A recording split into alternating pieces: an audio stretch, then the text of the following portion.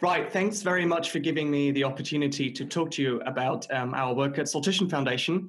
Um, today, I'd like to tell you something about uh, citizens' assemblies and some projects that we ran. Um, before I can actually start about the case studies uh, I'd like to tell you about, I just want to briefly introduce you to the concept of what a citizens' assembly is.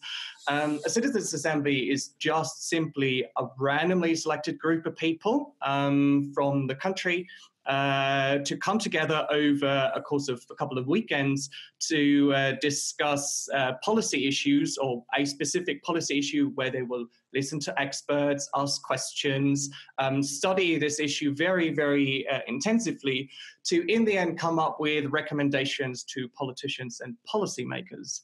Citizens' assemblies around the world includes different aspects such as keynote speakers giving presentations. Usually, these people are experts or, or scientific academic experts um, presenting some evidence on that particular policy issue. Uh, it can mean citizens studying policy papers and looking at the pros and cons, the trade-offs, um, and what these what the impacts might be. Um, and just the bottom picture shows you how big some of these events can actually get.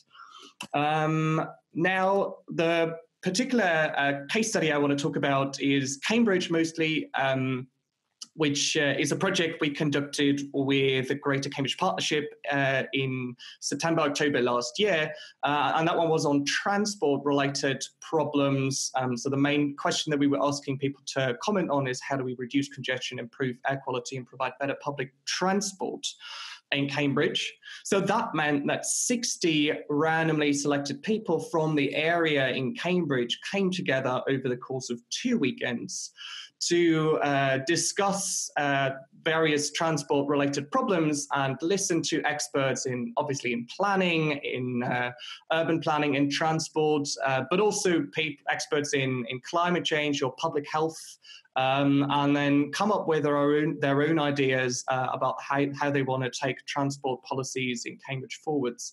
And they had to make decisions over those very difficult trade offs between uh, the economic feasibility of for example, how do we fund better public transport, but also uh, what measures do we should we put in place to um, stop people from getting in their cars uh, and driving into uh, the city and polluting and congesting, congesting, congesting uh, the, the streets.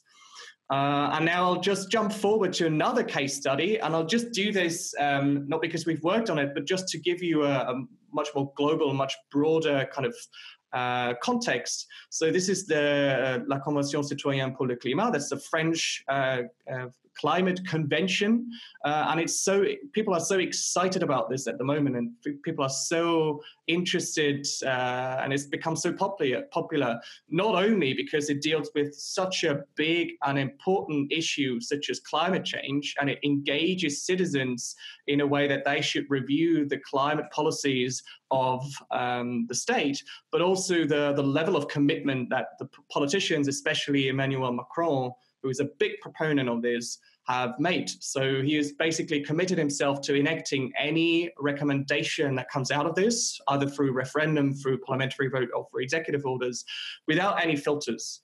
So I'm just throwing this in to give you an, uh, an idea of what's happening around the world uh, with citizens, especially these randomly selected citizens body, citizen bodies, to review policies for states. Um, and so I'm just going to give you a quick summary of, of, key points to take away from this. So first of all, I think you will have um, noticed that the kind of the difference between what I myself have just uh, presented, the previous speaker has also been talking about, is more about citizens reviewing how do they feel about this, how do they think about these uh, this, this scientific evidence around policies, rather than producing this scientific, these scientific results themselves.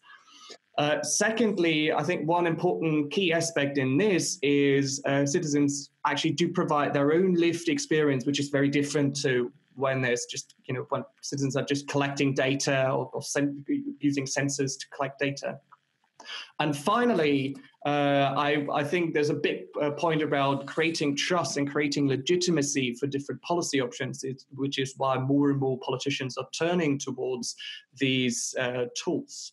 And with that, I would like to um, uh, thank you for your attention.